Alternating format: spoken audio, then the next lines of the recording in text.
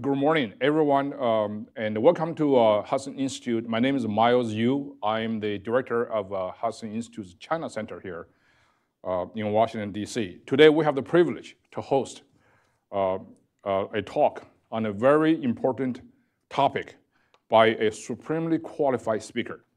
Um, th this event will, um, last for about an hour, and uh, it will begin with remarks by our distinguished speaker, and followed by a conversation between me and our speaker, and then open up to uh, Q&A for the general audience. So get ready, get your questions ready. Uh, our speaker today has an uh, outstanding career, and uh, that deserves a, uh, uh, a much larger space to introduce.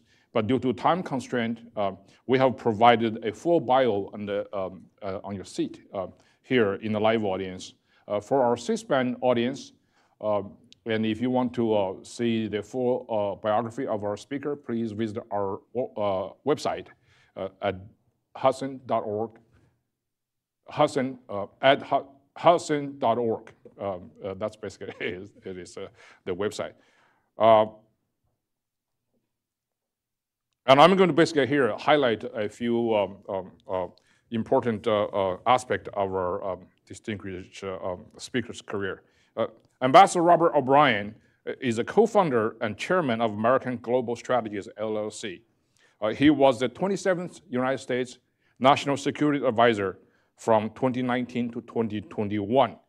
Ambassador O'Brien served as the President's principal advisor on all aspects of American foreign policy and national security affairs. Uh, during his tenure as a National Security Advisor to the President, Ambassador O'Brien orchestrated the history, the historic uh, Abraham's Accords, uh, achieved significant defense spending among our NATO allies, and strengthened our alliance in the Indo-Pacific. He has received numerous awards throughout his illustrious career.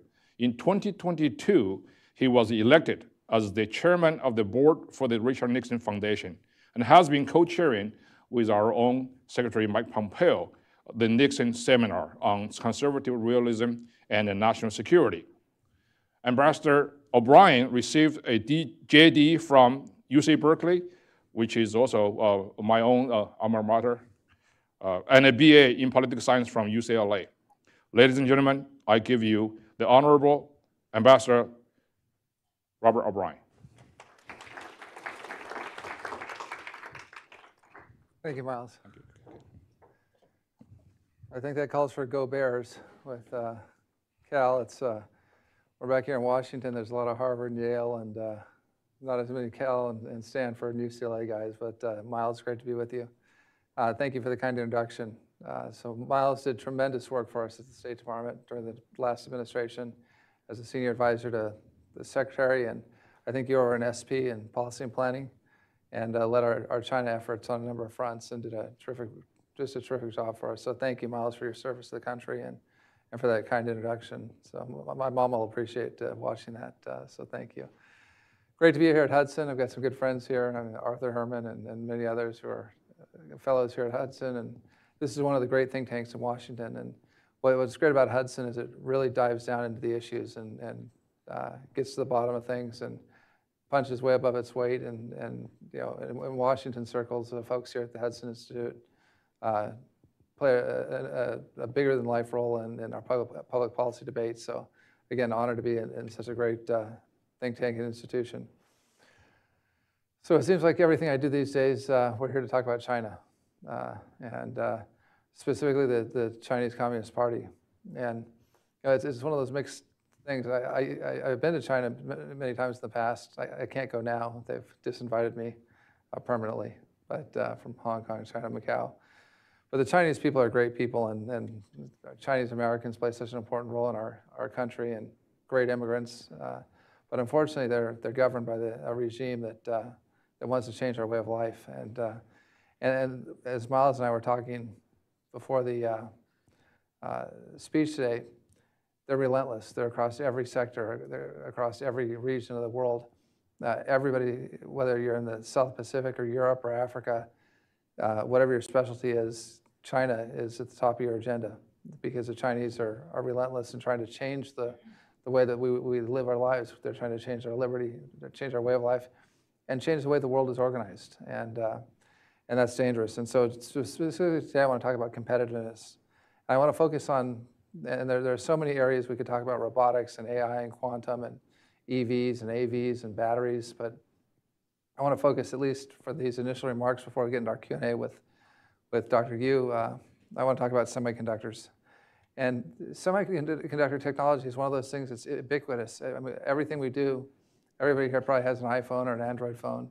You've got a semiconductor on you right now, and you probably don't think about it. The camera has a semiconductor in it. Many, in fact, many semiconductors. Everything we have, from F-35s at the at the high end, at the, the cutting edge, uh, all, all the way to your washing machine, to the to the F-150 I've got in my garage. Uh, it all depends on, on semiconductors, and the, so there's critical, critical infrastructure.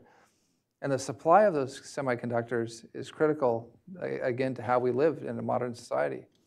And so the US is investing $52 billion in the CHIPS Act uh, to, to bring semiconductor factories uh, back to America, uh, improve our fabrication plants and our capability in the semiconductor sector, and, and secure our, our, ability to live a modern life, uh, and, and, and literally enable our daily lives. Because without them, and think about this, without semiconductors, almost every aspect of global manufacturing, not just American manufacturing, global manufacturing comes to a halt. Uh, you know, we, we saw this in the pandemic. It took me, I had ordered an automobile, a truck, and it sat for months uh, waiting for a semiconductor. The, the truck was constructed, but it couldn't, couldn't leave the lot at the factory without the semiconductors it needed. So we, we saw backlogs not just there, but with, with people wanting to get refrigerators, washing machines, uh, phones were even difficult to get. And so we saw what the backlogs uh, could happen with a, a, fragile supply chain during the pandemic. But we also saw sky high prices and we saw inflation as a result. Now, not surprisingly, given the importance of semiconductors, the CCP, the Communist Party of China, has sought to dominate the market. And not just the market for the super advanced three and four nanometer semiconductors, but for what we call the mature semiconductors, the, the commodity semiconductors or legacy semiconductors, they want to control the market. Now, we can't eliminate our reliance on semiconductors. That, that, that's something we can't do. But what we can do is minimize the risk that Beijing poses if they get control, monopoly control of semiconductors the way they do, for example, with rare earth elements. And, uh, and they become the leading, world's leading supplier of chips, uh, both legacy and advanced. So diversification of our semiconductor supply chain is one of the areas that we're on the cusp of achieving. And, and you know, I, I, got a lot of criticism for this stance on supporting the CHIPS Act. Secretary, Secretary Pompeo did, Secretary Ross did, because it smacked on, on the Republican side of industrial policy, of, of market, of the government managing the market.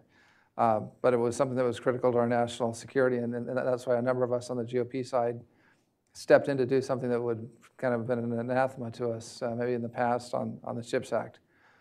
So with geopolitical challenges and uh, unprecedented in a generation, not just in China, but what we're facing in Russia, China's ally in Ukraine and in Europe uh, with Iran, uh, securing the supply of chips, particularly semiconductors that, that enable our military uh, industrial complex, uh, is just critical.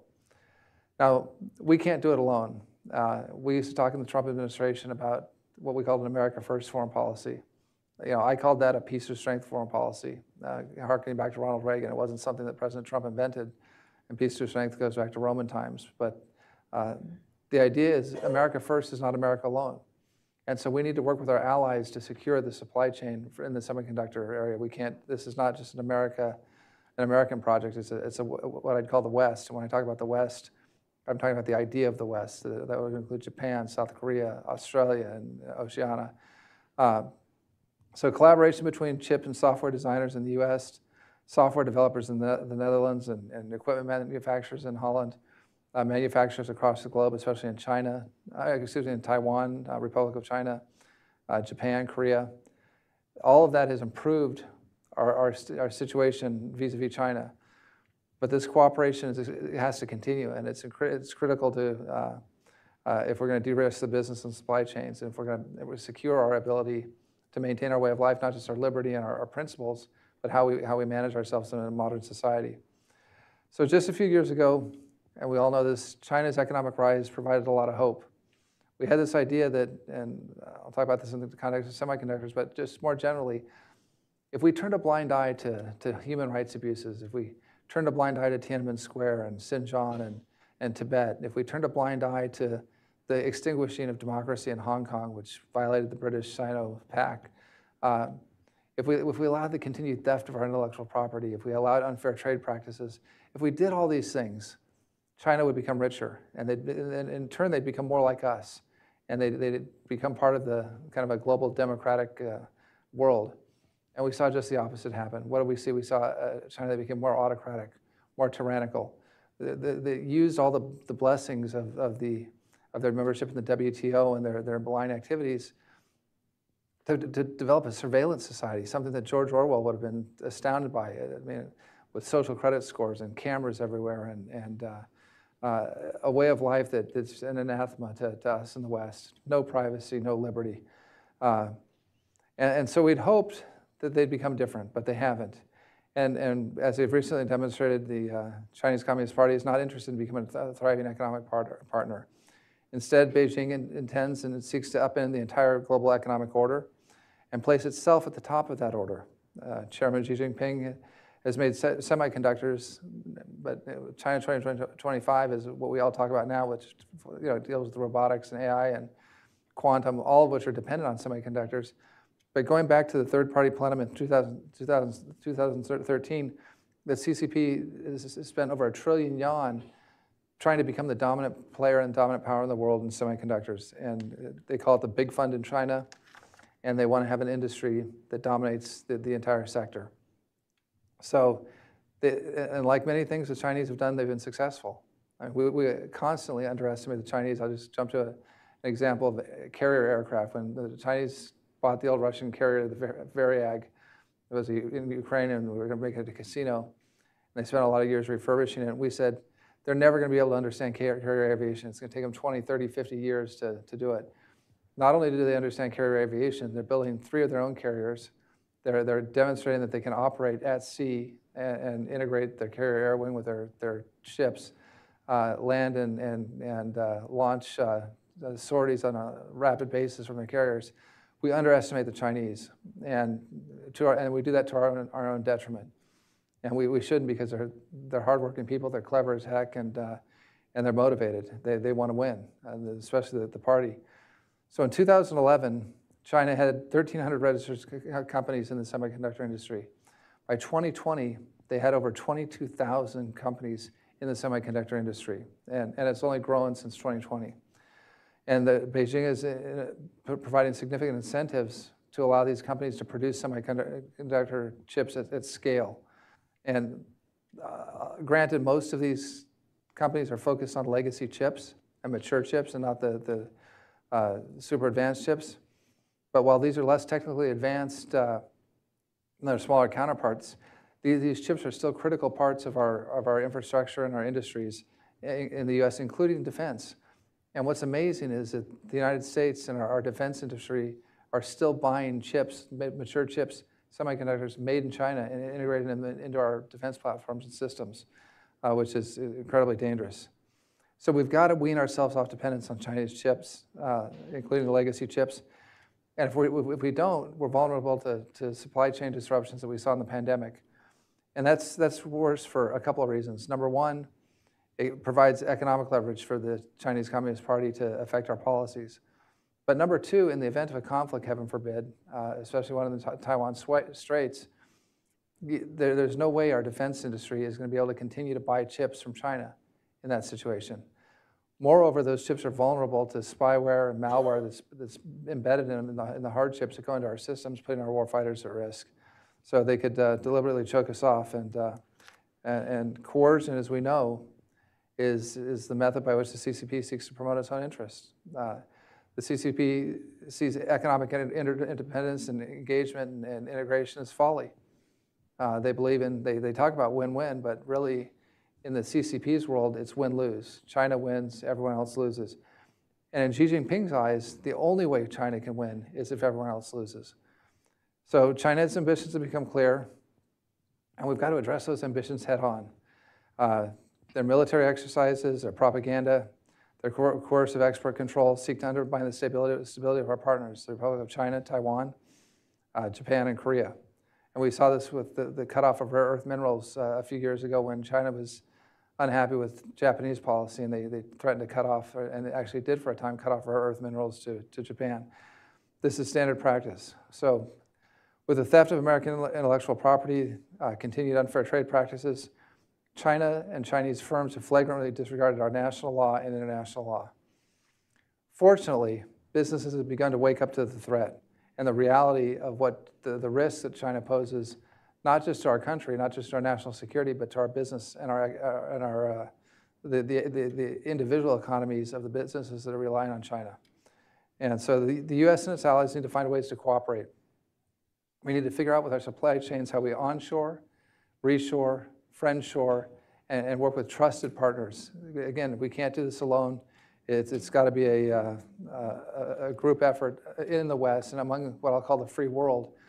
So to make sure that our supply chains for everyone, for Korea, for Holland, for the UK, for the EU, for African countries that, that choose not to go down the Belt and Road uh, route, uh, that for the countries that don't want to be under the boot of Beijing, that don't want a social credit score, that don't want Hikvision and, and cameras recording the lives of citizens, who don't want to give up all their medical and genetic information to the Communist Party of China. For the countries that want to remain free and have a way of life, we've got to band together and create supply chains uh, that, are, that are, are safe and secure. And doing so, unfortunately, in, in this day and age when we were in strained budget, strained budget environment, we just went through the whole debt ceiling situation. Uh, it's going to be difficult. It's going to take, take added cost. It's going to take added effort. Uh, it's going to take, uh, again, a little bit of what uh, uh, us free marketeers uh, don't like on the industrial policy side. But to fail to do so would be to subject the United States and our allies and friends to unprecedented risk, and, uh, and in my view, would be reckless.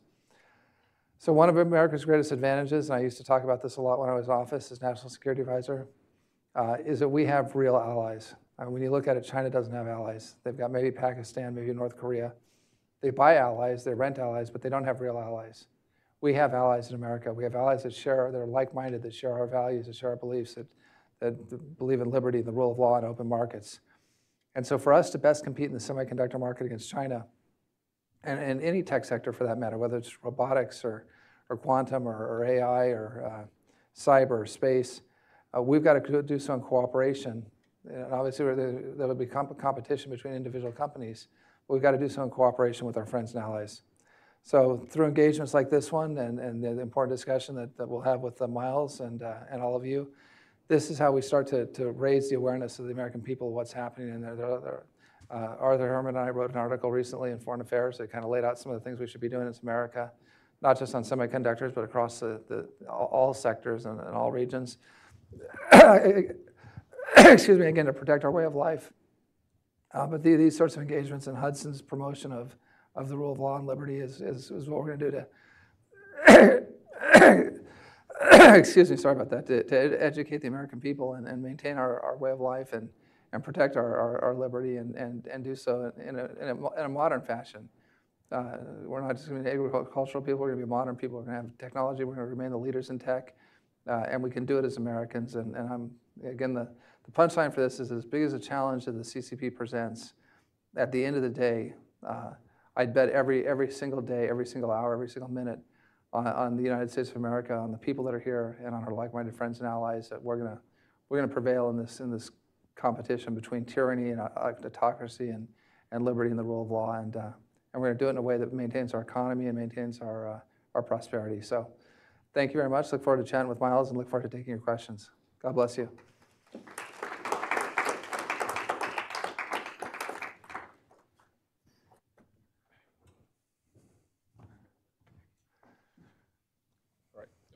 Thank you very much, Ambassador. Uh, and that was a very, very good uh, um, uh, opening remarks. Uh, let's just say, uh, uh, you know, supply chain is a chain. Uh, a chain consists of many links. Some links are strong, some links are weak. Um, in your opinion, what do you think, uh, you know, uh, are the strongest link uh, on the American side? What would be the strongest link on China side? And uh, there's link, weak link and, and strong link too on both sides. Yeah, so that's a good question. I think the, the strongest thing we've got going in America and our allies, uh, Japan, uh, especially on, on the chips uh, area, but, but across the board, is our ability to research and development, our innovation, our creativity. So when you look at the innovators that we've got here and, and our allies, and I was just recently in Japan, was recently in Taiwan, uh, freedom breeds this, this entrepreneurial spirit and this innovative spirit. And so I think in the, in the free world in the West, our, our strongest uh, area is, is, innovation, entrepreneurship, new ideas uh, that, that are eventually knocked off and stolen by the Chinese. But I think we, we can maintain our advantage through our innovation. I think that what the Chinese have done, and it was, you know, I, I give them credit for it. I mean, they're, they're smart people, they had a plan. They hollowed out our industrial manufacturing capability. They basically took all our manufacturing and everything from, you know, it started out with toys and lower end things, but now it's at the semiconductor level, at the robotics level. They moved our manufacturing to China and, and to, to countries around China that they control or where they have controlling interest in the companies in some of the, the, the countries around China. And they, they, they moved that whole manufacturing sector uh, to China and parts of Asia, which they control. And it's going to be very difficult to replicate that. It's going to be very difficult to bring it home. I mean, we're seeing this with, that's why we had to have the CHIPS Act. Uh, and, and, we're going to have to invest a lot of money to bring manufacturing back to America and back to our, our partners.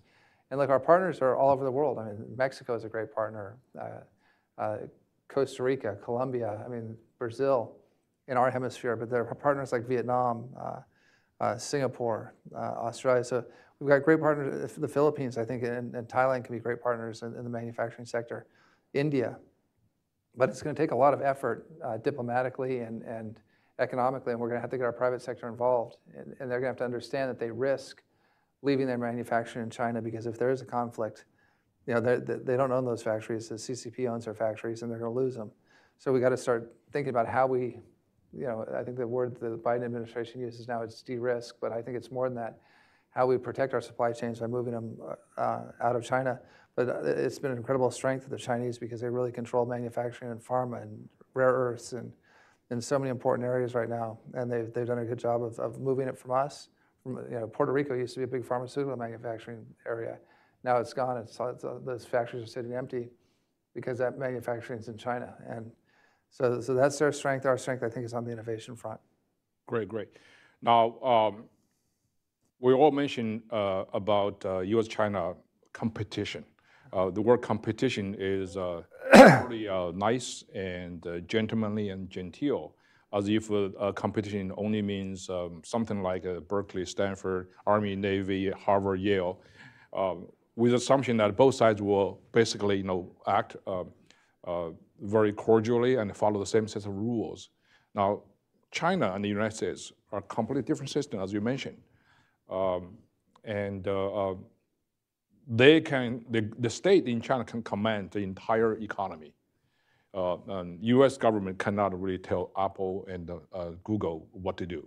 But we can only uh, give them advice, give them policy guidance on national security front. How do you actually compete if both sides were completely different? China's, uh, as you mentioned uh, very eloquently, you know, China's uh, definition of win is Americans' loss, right? So, um, so it's not like you know Berkeley's win uh, um, um, must rely on Stanford's complete destruction. I mean, that would be good, uh, you know, but. you know, being a UCLA Bruin, we used to think that about USC, but I've got softer feelings about USC now. So, both great universities, and Stanford's a great university as well. Uh, this is not a football competition. It's not a competition between you know who's the top ranked school and second ranked school and the third ranked school. Uh, this is a competition about whose way of life is going to prevail. And as you mentioned, the Chinese don't play by the rules. Uh, the, the, the, intellectual property theft that's taken place over the last 30, 40 years has been what Christopher Wray, the director of the FBI, said two summers ago in a speech that he gave. The biggest transfer of human wealth in history has been the the theft, not, not the, the economic development of China, which if it was done fairly, we'd all applaud, but the theft of American and Western intellectual property and the transfer of that to China, biggest in human history. Now, I think a lot of you have been to Rome, you've seen the Trajan's column, and it shows you know, the Romans bringing back all the, the, the cartfuls, the ox cartfuls of, of Dacian loot that, that kept you know, Rome going for another 100 years with everything that they looted from Dacia. That, that used to be kind of considered the, the biggest theft of property in history. But, but what China has done makes what Trajan did in, in Dacia, Romania, that, that, that area of the world, You know, that, that, that's child's play, it's kindergarten. I mean, the, the Chinese have literally stolen uh, trillions of dollars from us. So when you talk about competition, it's hard to compete with someone who's stealing uh, you know, everything in your house. If you're, you're competing with your neighbor, you're trying to keep up with the Joneses, but the Joneses are coming into your house and steal, stealing all your stuff as soon as you buy it. That's not really a competition. And, uh, and there, there's going to be no way to keep up with China if we continue to allow this to happen. But it, it's just it's just not on the theft part. If it was just stealing our IP, that would be bad enough. And, and we can talk more about that in a moment, how that plays out and, and hurts individual Americans. But it's the unfair trade practices. Uh, you know, it's the it's claiming to be a developing nation under WTO rules. It's violating all the, the norms of, of uh, just human decency when it comes to climate. I mean, we talk about climate change here and the, the hot weather this summer and what we can do about it. There's nothing we can do about it because China is opening a new coal-fired plant every month. So even if we closed every coal plant in America and every coal plant in the West, China's building so many of them that it, will make no difference. I mean, the atmosphere is the same for all of us. It's the, the world's inter interconnected and across the Pacific. You know, if the Chinese are pumping, you know, dirty coal, coal-fired plant uh, emissions into the atmosphere, there's li very little we can do about it. It's the same with the Pacific Ocean. I mean, in the old days, conservationists cared about clean water and clean air. And, and they, hopefully they still do here in America, but the water in China is the dirtiest in the world. But what they've done in the Pacific Ocean, we, there, there's now an island. Think of this, there's an island bigger than the big island of Hawaii of garbage, plastic floating around in the Pacific Ocean right now. Most of it came from the, the Chinese and from their shipping and their, their, uh, their ecological practices. So we've got this island of garbage, and no one cares. No one's calling the Chinese out on it. So it's very difficult for American companies and, and Western companies to abide by the rules, to, to do what the EPA tells them to do, do what OSHA tells them to do. I mean, we talk about worker safety, and, and the Chinese ship, shipyards are impressive. They, they launch these ships. Know, we launch two or three frigates, or two or three destroyers a year at best. They're launching a destroyer every month or a frigate every month. But they're massive uh, injuries that take place to Chinese workers. They, they, lose 60, 70, 80 workers a year to deaths in the, in the shipyards. But when you go to Huntington Ingalls or Bath Iron Works or uh, uh, Newport News, they'll have signs up that say zero deaths or zero injuries for you know 24 months, 36 months. So the, the way we treat workers, the way we treat our environment, the way we treat the, the, the rules we abide by aren't abided by the Chinese. So a very long answer to get to your, to your question.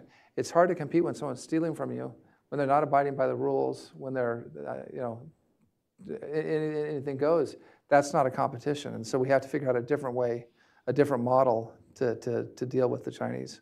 Yeah.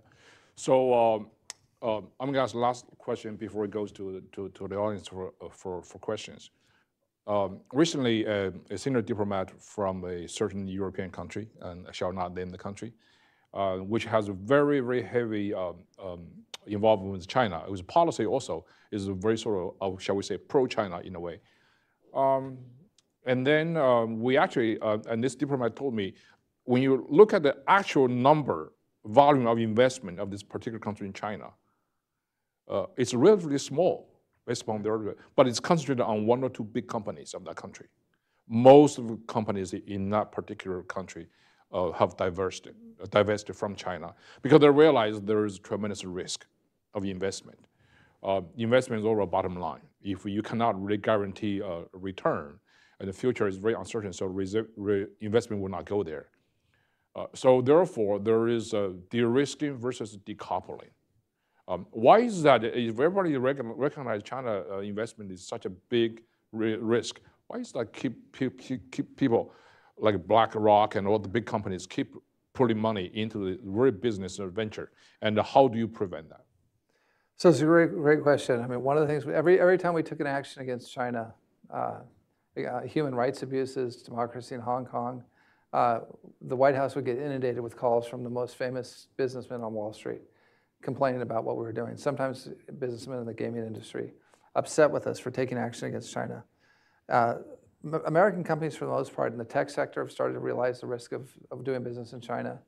Now, selling to the Chinese is great. I mean, that reduces our trade deficit, it gives them the products they need. But when you go into business in China and you, you get, have to do a joint venture with a Chinese company, you have to have a political commissar in your from the CCP in your company telling you what you can and can't do. uh, when you have to turn over all your data and your information on your company to the Chinese, when you have to share your patents with your Chinese partners, that's a bad idea. And most companies and manufacturing companies are starting to realize that. They realize that you really don't own a factory in China. You, you're renting a factory in China from the Chinese Communist Party. But the one area that, that uh, of our economic sector, and it happens to be incredibly powerful, that that's just as in love with China is Wall Street. You know, you've got guys like Ray Dalio and Schwarzman and these guys who just, you know, they, they, they love China. And, and there's a lot to love about the Chinese people, uh, don't get me wrong. But the Chinese Communist Party is a, is a very threat to our liberty. And they keep investing in China because they, they think eventually China is going to become free. Maybe they think that. I, at least I hope that's their, their motivation. And, and they think that their, their bank or their hedge fund or their, the return they're going to get on their investment from investing in Chinese companies uh, is, is going to make them rich. I mean, I, I, what I used to say is that there are a lot of houses in the Hamptons that were built by the Chinese Communist Party, and a lot of nice houses in the Hamptons that were built by the CCP. And, and it was a pretty, pretty cheap way for the CCP to have tremendous access in this country. But look, we're a free country, and there, there's only so much we can do to, to regulate what American companies want to do. But what I tell them is, if a war breaks out in the Chinese, in the Taiwan Straits between America and China, or relations get worse, there are going to be heavy economic sanctions. I mean, the, the toolkit that America has immediately in a war is economic sanctions uh, because we want to avoid uh, rising to a kinetic level. Now, that may not be true in the Taiwan Strait if there's an invasion of Taiwan, but if there's a blockade or uh, cyber attacks or, or, actions against Taiwan, the first reaction of America is going to be economic sanctions. But the Chinese have been preparing for that for many years. And they're, they're trying to suck as much American investment, especially from Wall Street, into China as they can because they don't want their bonds canceled. They don't want their dollar holdings canceled. They want to have something to fight back with. And the way they'll fight back is by nationalizing US investment in China. So the more US investment they can get in China, the more leverage they can have over us, uh, and the more they can mitigate any financial sanctions down the road in the event of a conflict or a, a crisis between the countries. Now, the Wall Street guys think, well, that's okay because the US government will bail us out. We always get bailed out. We're too big to fail. Wall Street, it doesn't matter what happens, Wall Street gets bailed out. The little guy may go bankrupt, but Wall Street's going to get bailed out. And I, I assume they feel that they're going to get bailed out, but I think the, the consensus, the American public is not going to go for bailing out BlackRock or, or any of these country, companies that, that have made massive bets on China. I mean, and, and beyond that, there's a patriotic issue there. And, you know, I understand, you know, money, you know, money doesn't sleep, and we've got to chase the best returns and that sort of thing we can get as a, as a fiduciary and a banker and that sort of thing. But to invest in companies that, that, that are building warships or airplanes that are going to be used to kill American servicemen and women, our sons and daughters who are uh, serving in, the armed services, there, there's something very concerning about that. To invest in companies that, that are abusing the Uyghurs, uh, we've got think about it today. It's 2023, it's August 2023. There are slaves picking cotton in China today. And think about that, just that image that there are slaves picking cotton in China, and we've got American companies that are buying those products from, made from that slave labor. There, there are Chinese, there are Uyghur men being sent to vocational, quote, vocational camps, uh, work camps, and their, their wives are they're being replaced by Han Chinese because of the one China policy, and there are too many Chinese males, and Han Chinese men are being moved into their homes with these Uyghur women. I mean, when you think about what's going on, this, this isn't a, a, a, a contest of ideas that people talk about. Well, they've got an autocratic system or they've got this hybrid system and they, it's more efficient. This is a choice between liberty and, and the worst form of totalitarianism. And so to have, have American companies, big companies on Wall Street, saying, well, we, got to get a, we can get a, a slightly better rate of return there's no better investment that we can make in America or in Europe or in Vietnam or the Philippines or, or India. There's no better rate of return that we can get than investing in, in, in you know, a company that's either in China that's dual, dual use, it's going to make uh, uh, platforms that are kill American kids in, in uniform, or that are abusing Uyghurs, or, or, or just even abusing the people of, of China. Uh, that, that's, that's something that I, I, think some of these these wealthy guys, and I, maybe if you've got a billion dollars or $10 billion or $50 billion, and you like some of these masters of the universe on Wall Street, they don't care. But they ought to look in the mirror and think about what they're doing and how much is enough. I mean, it's, uh, and I, I say this as a Republican. I'm, I'm all for free enterprise and making as much money as you can taking advantage of the opportunities you've got in this country to become wealthy. But, but to use your money in, in that, fa- in that sense, you know, it, it took a long time for, for people to get over investments in, in Nazi Germany in the 30s, long time. And I think, I think at some point, some of these companies that are investing in China are going to face that same moral reckoning. And, and I think it's going to be sooner rather than later. And they really ought to look in the mirror and decide if they're, if they're doing the right thing as, as not just as Americans, but as human beings. Excellent. Uh, um, I just have one uh, follow-up comment on that. Uh, during the Cold War, you know, uh, uh, we fought against the Soviet Union, uh, which was the primary uh, adversary of the United States. Uh, today, many people say we're in a similar situation with China. Uh, but the fundamental difference between the Soviet Union and China today is that in the Soviet days, uh, virtually there's no major um, lobby group for Soviet Union within the United States. Not Wall Street, not K Street, uh, uh, very few on, on Massachusetts Avenue, think tank row. Um, today is totally different. China basically uh, advanced its interests mostly through lobbyists on Wall Street, K Street, and Massachusetts Avenue. Uh, that's a very, very telling. And uh, so uh, you and I both served uh, in the administration, uh, the previous administration, and I can say one of the, uh, my proudest moment, uh, achievement, I think, is that we, uh, under Secretary Pompeo's great leadership, that we almost completely uh, repulsed the push uh, from the lobby group um, on China's behalf. And I personally have several encounters uh, of that kind. So, um, okay, so um, thank you very much. Uh, I just want to say you, you did a terrific job, Miles, and at the State Department. Secretary, Secretary Pompeo was a, you know, I, I initially worked for Mike as a hostage envoy, and then went on to be this, his colleague as national security advisor. You and Mike did incredible work, and uh, for, for, for this country, but not just for this country, but for for people around the world, including people in China, by, by promoting freedom the way you did. And, and Secretary Pompeo's declaration of a genocide, I think it was on January 19th, uh, following what Secretary Blinken had talked about in the campaign, and Secretary Blinken's kept that declaration in, in place, uh, was, a milestone. And, and so th- th- thank you for the tremendous work. And on Huawei, I mean, when I first became the National Security Advisor, folks came in a briefing and said, there's nothing we can do about Huawei. They've taken over. They're going to have control of all the data in the world. They're going to have every cloud you know, every, every transaction that takes place on a mobile phone anywhere in the world is going to go through some sort of Huawei station. So we'll have to figure out how to encrypt it to keep it from the Chinese. And, and I said, no, we're not going to do that. And talked to Mike, and Mike said, we're going to give this a shot. And we pushed back on Huawei. And, and not only did we push back, we won. And America's allies in the free world, for the most part, has eschewed Huawei because they, they, they, they came to understand the danger presented by Huawei. That, that fight on Huawei, where we were told it can't be won, we won it. And it was primarily you and Keith Krach and, and, and Secretary Pompeo over at the state and Larry Kudlow in the White House and, and our team, uh, Brian Cavanaugh who's here and others. Uh, I hate to name people because I think I'm going to get them sanctioned by the Chinese and they'll get in trouble. you, you, can tell, you can tell from my comments today why I'm not going back to Beijing for a holiday anytime soon. But uh, um, the, the work you did was tremendous. But uh, one, one final comment on the lobbyist. The Chinese have a lot of money. And what the Soviet Union didn't have was the kind of wealth that the Chinese have generated. The Chinese have generated massive wealth. We've never faced a challenge as Americans like we're facing against communist China now. Maybe in the revolution, maybe when we were fighting England, the UK is a, the dominant superpower in the world to get our independence. But since that time, we haven't faced a challenge. And one of the reasons the challenge is, is because the Chinese use every tool of national power, including their economic weight, to hire former congressmen, former, former officials, uh, and they either hire them through TikTok or, or through a Chinese company, or they hire them directly as lobbyists, and then they fight in the halls of Congress and in the administration to promote China's agenda here in America. Now, think about this.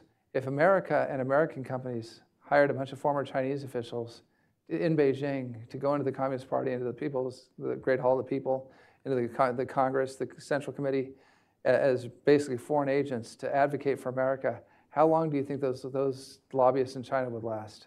I mean, they'd be taken out faster than Hu Jintao got, got escorted out of the party Congress uh, uh, that, that, we all saw on TV.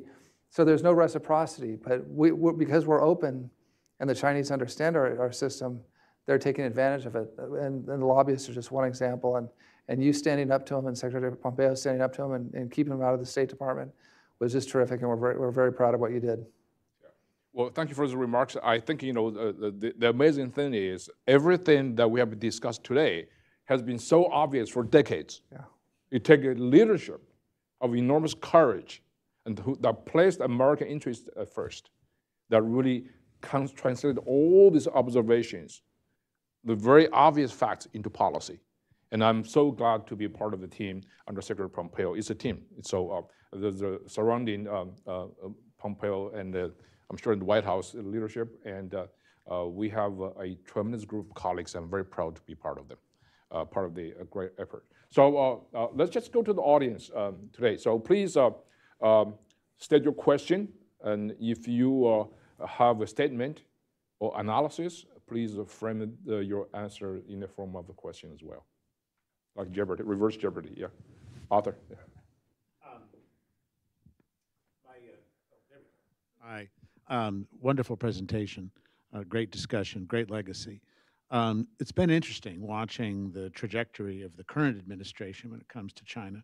At the very beginning, I think we all felt that they seemed to be following the lead that the previous administration had taken and understood the adversarial nature of our dealings with China that was important to be strong uh, and even confrontational uh, in certain key areas. Um, but over time, it seems that the attitude has shifted to one of a more accommodationist approach in dealing with China, especially recently.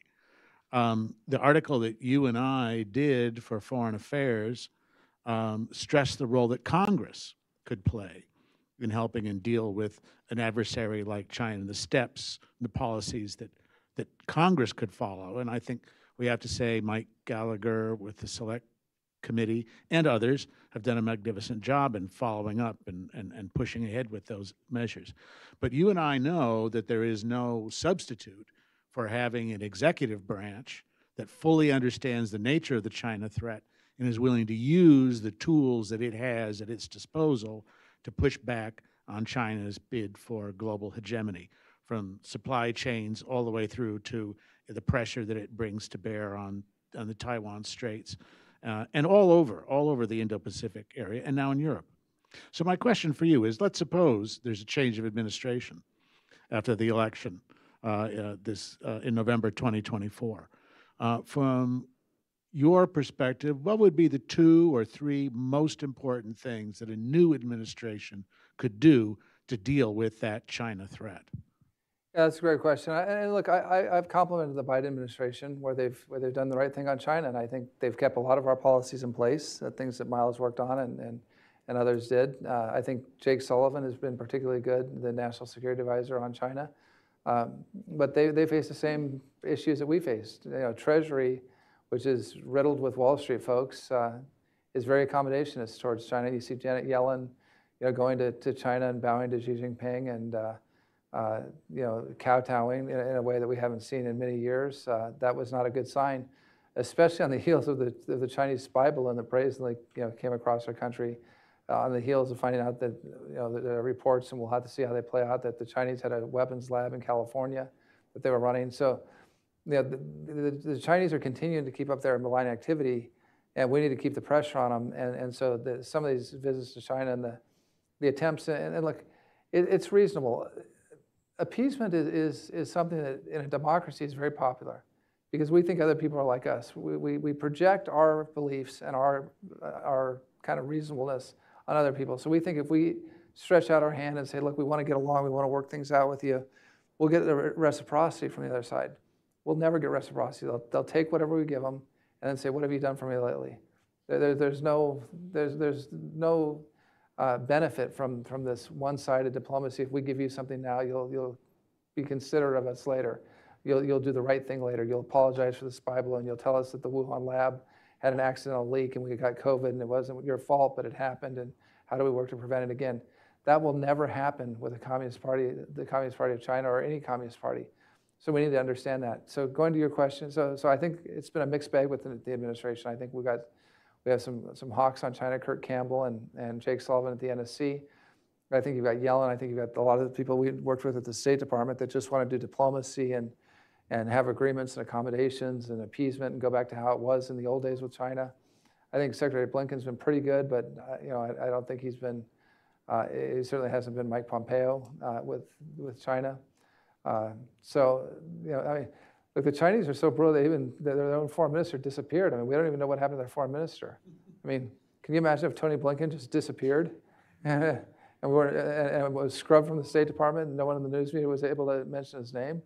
I mean, that, that's, this, that's the type of regime we're dealing with. Going back to your question about what we can do in a new uh, administration or what, I don't want to say a new administration, what this administration should do.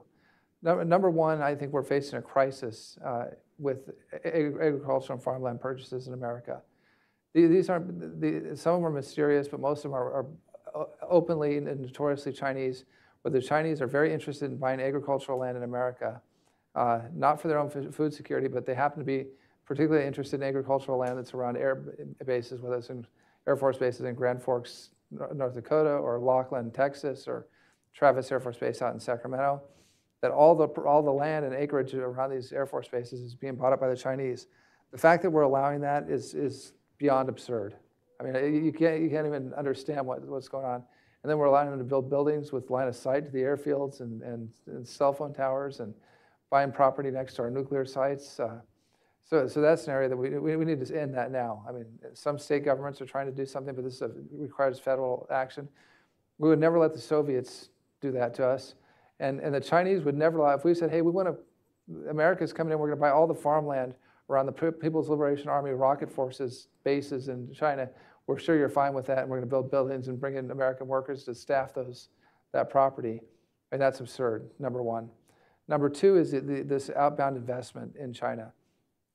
One of the things that Larry Kudlow and I did, and Gene Scalia got on board with us uh, at the Labor Department, uh, we had the federal thrift savings plan was investing in funds that were in turn investing in, in, in Chinese companies that were doing dual use manufacturing, ships and aircraft.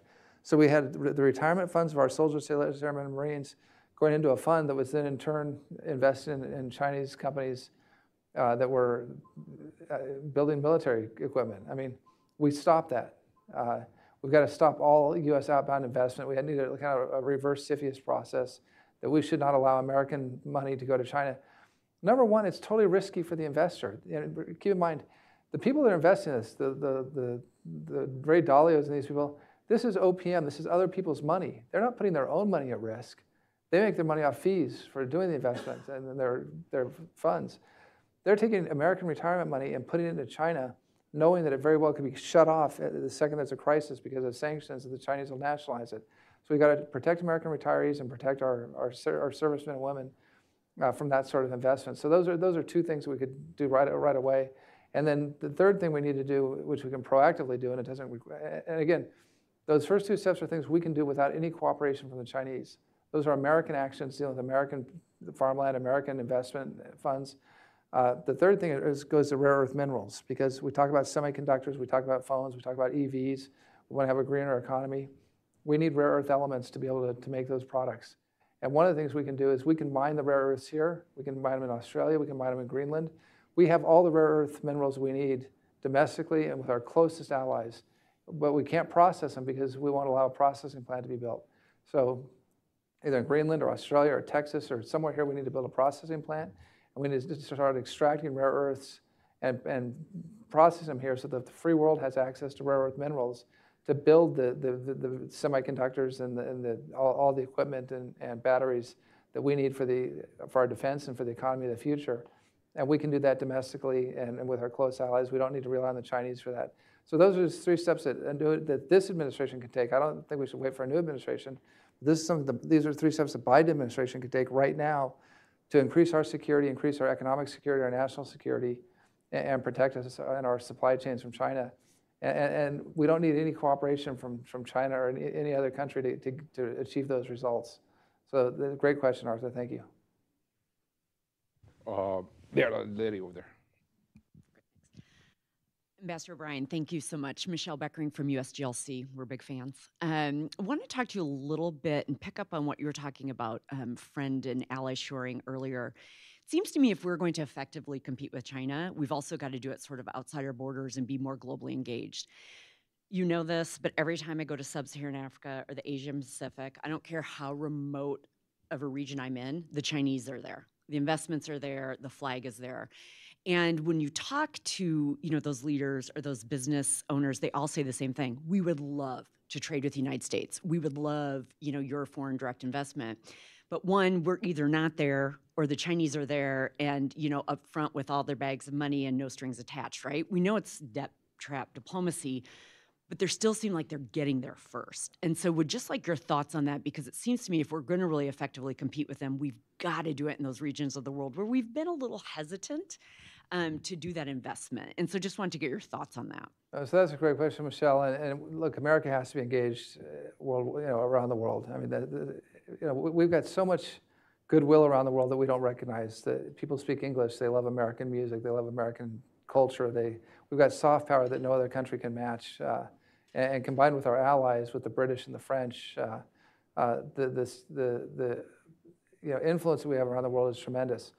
And, and I, I'm like you, Michelle. I, I used to travel a lot as an international arbitration lawyer and arbitrator uh, to you know, all over Africa, all over Asia. And wherever you go, and Miles, you've seen this, there's always a sign up that says, This road is being brought to you by the people of the People's Republic of China, or this, this road is a gift to the people of Kenya, or that the, these fiber optic lines are a gift from the people of China to the people of Rwanda. And I went- to the East Asia Summit as National Security Advisor. The President designated, designated me as his, uh, his envoy to the, the East Asia Summit and the APAC meeting. I think some of the heads of state weren't very happy to see a staffer there instead of President Trump, but you know, they, they, they got stuck with me. Uh, and I, I asked my staff beforehand because the common refrain we were getting from everyone was America's abandoning Asia, America is abandoning ASEAN, we're not there. Uh, I, I thought this is very concerning, and so I asked my staff, put together what our investment is in, these, in, this, in the, ASEAN region, and compare it to the Japanese and the Chinese, our, our competitors in that area. And, uh, and they did so. The, the, the results were shocking. And I, I said this in my plenary statement. We had invested over $1 trillion in Asia, uh, in, in, the, the, in the ASEAN countries. China and Japan combined had invested just over 500 billion. So we were 2x China and Japan combined. But the narrative was America's pulled out, America's abandoned the region. And the reason for that is, I think, twofold. Number one, most of our investment came from American companies.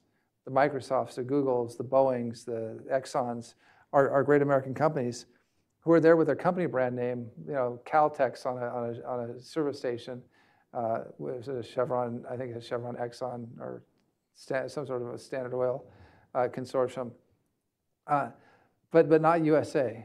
And so the, the Chinese were touting what they were doing, and our- investment over China was 3x, over, over China and Japan together was 2x. We weren't broadcasting that, and, and so the narrative had taken, taken hold, and it was a narrative that was fed by the Communist Party of China and their propaganda machine, is that America doesn't care, America's gone, America's abandoned you, when in fact we were there 2x, uh, 2 or 3x China as far as investment in the economies of those countries. So number one, we, we, need, we need to let people know we're different than China. When you get an investment from a U.S. company, that's not coming from the U.S. government, but it's the American people. It's, it's, it's the American way of life that's coming and investing in your country. And it, it might be under the guise of GE building a, a gas turbine plant in Vietnam, which we signed a deal for when I was national security advisor. But, but it doesn't necessarily say USA across the top of it. But the second thing is, and we try to do this branding, and you know, people said it's childish and America doesn't do this, but we send so much foreign aid overseas, sacks of grain and rice and equipment and that sort of thing. And it, it'll say it'll have you know all kinds of different labels on it. We came up with a label with an American flag that said a gift from the people of the United States with a, a flag label on it, showing that it was coming from America, just to let people know, you know, at, a, the more subsistence level, foreign aid, that, that you're getting, this is a, a gift from the American people to your country, and, and we're not we, we're not giving 10% of it to your leader in a Swiss bank account. We're not going to come collect on the debt that we're giving you. This, this is aid that's coming from the American people because we want to see you do, do well and succeed and, and not, not go hungry. And unfortunately, that, that, has, that program, I don't believe, has gone forward. But we need to do a better job with our private sector investment of letting people know that this is, these private sector companies are a result of the free enterprise system that we have in America. And we need to get our companies more involved in letting people know that you know, this is American or Western investment. But number two, on the direct investment, what do we do, and the, the foreign aid that we give as a country, we need to brand it and market it and let people know and not be shy about it. But you know, look, there's something about the Judeo-Christian ethic that we have that you don't want to tell people, Miles. You know, I don't want to come say, "Hey, I'm giving you this and it's from me, and, and you owe me something for it." I mean, it's, it's- not our, we, when we do things, we want, you know, the the right hand not to know what the left hand is doing when we're giving charity. And yet, that's not how things work in the world, and we need to be a little bit more uh, upfront about letting countries know that, that the American people are supporting them and that we're, we're helping them out. Uh, not not in a, in a way to make them dependent, but in a way to make them prosperous and, uh, and, help them stand up. And, and the Chinese do a very good job of that. They, they, they let you know every little thing they do for you, even if, even if they're going to eventually you know, take the collateral back and, and own half your country. But uh, I think we need to do a better job explaining what, American business does and what the American government does overseas, so that the, the folks know that we are engaged and that we're not isolationists and we care about you know, what's happening with our friends and allies and we care what's happening in deepest Africa and, and the farthest reaches of Asia that America cares. Totally agree with that. We need to do a better job explaining Americans' effort uh, as a whole, but not to, uh, to make excuse for um, inaction. Uh, Understated, unreported good deeds ultimately will generate tremendous inspirational power and influence. Uh, Just read the recent uh, uh, Pew Public Opinion poll of 24 countries. China's reputation, global reputation, um, is just terrible overall. I mean, 67% average uh, of the 24 countries have a negative view of China. So despite all this money spent, ultimately, the nature of the regime and then the, the, the strategic intention of, the, uh, of China's uh, global outreach will be revealed to people sooner or later. Next question. Uh, Over there, yeah, this side.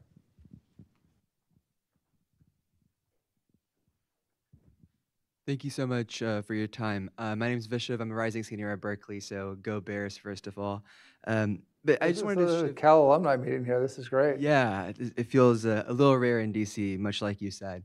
Um, but I wanted to shift attention to industry, which is a very big sort of component in this conversation, whether it be semiconductors or sort of you know at large emerging technology and our sort of interests and competition with China.